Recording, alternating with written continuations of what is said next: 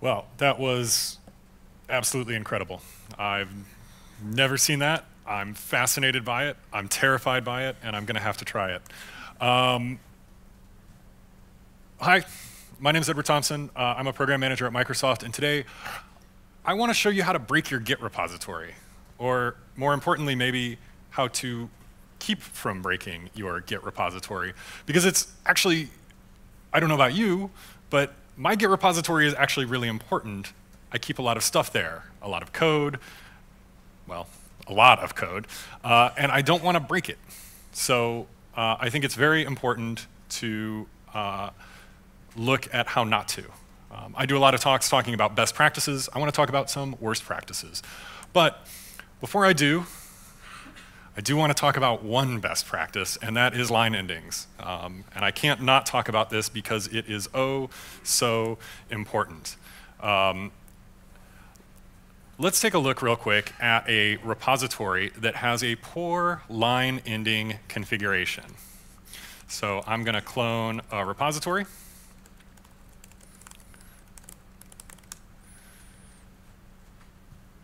I'm going to pop into it, and I'm going to run git status. Right? I cloned it. Status is clean. Exactly what I expect. Uh, now I'm going to do, let's see, I've just got one file, one file, nice and easy. What I want to do is look at my cache. Now, a lot of people have bad line ending configurations in their repository and don't know it.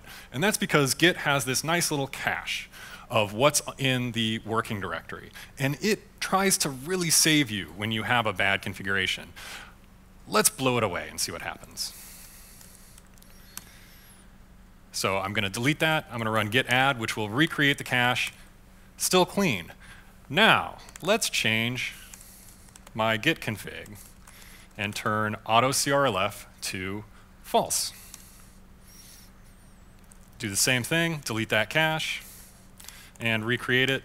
And now when I run git status, oh my god, my file's modified, but I didn't touch the file. And if I run git diff, oh, it tells me nothing's modified. I think a lot of people have seen this, especially on Windows. This is a bad uh, place to be, and it's because I am out of sync with my auto CRLF settings. Here's the thing, don't trust core.autocrlf. Why? Everybody has a different setup.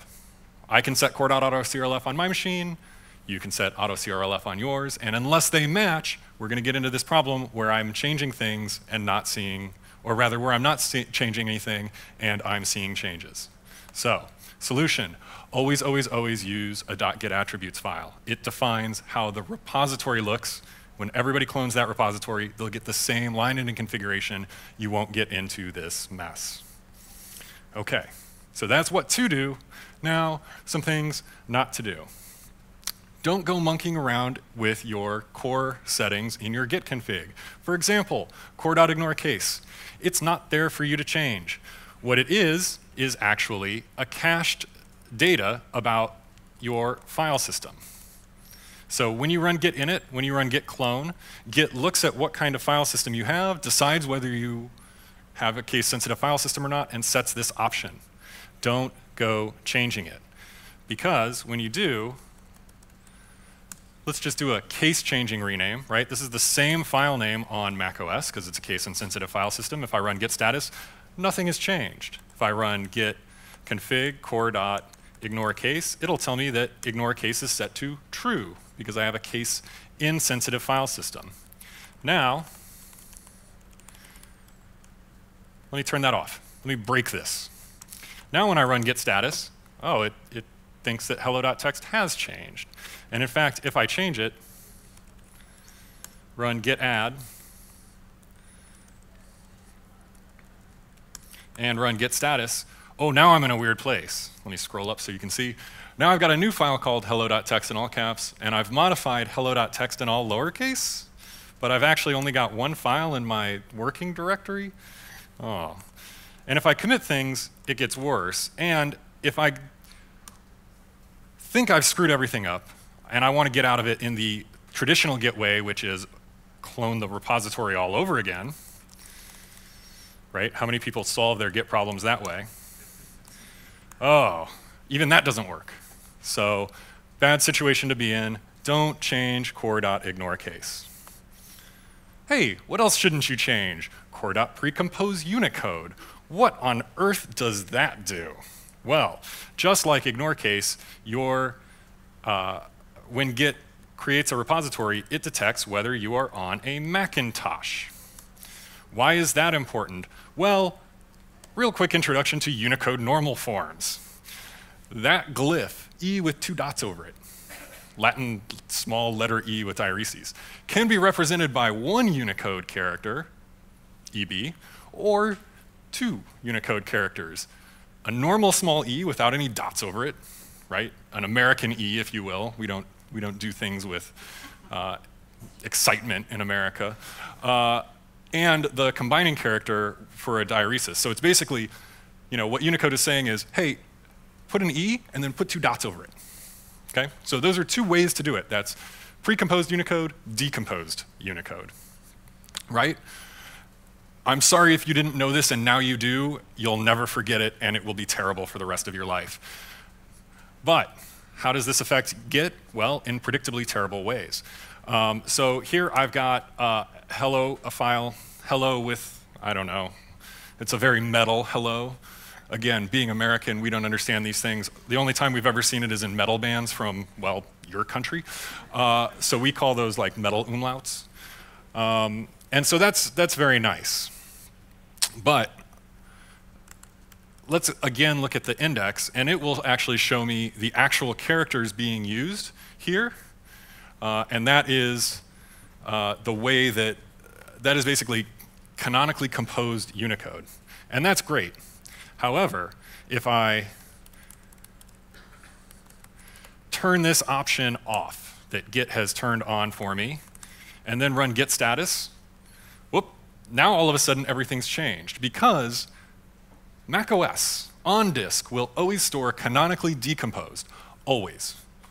Doesn't matter what kind of, what you type, whether it's a single character E with dots over it or two characters E plus combining character diaeresis, you will always get this format. Git knows enough to recompose everything because that's what everybody actually uses in the real world. Um, so by turning that off, by toggling this flag, you are confusing Git as to the name of your file. Turn it back on, no changes. Turn it back off, actually turn it off, changes again. So, just like ignore case, precompose Unicode tells you, or tells Git, the, the promises that you are making with your file system. So, unless you want pain, don't go changing that. But there are more core settings. Protect NTFS, protect HFS. What on earth is going on here? Well, here I can clone this repository. I've got a repository called protect NTFS. And if I go into protect NTFS, I've got one file called hello.txt. But the thing is, I've got another branch. There it is. Uh, it's called sneaky. And I'm not going to be able to check sneaky out because I've got core.protectntfs set since I'm on an NTFS file system. But let me turn that off.